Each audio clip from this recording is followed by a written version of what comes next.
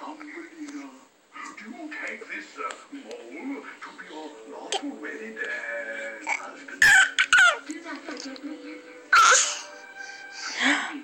The...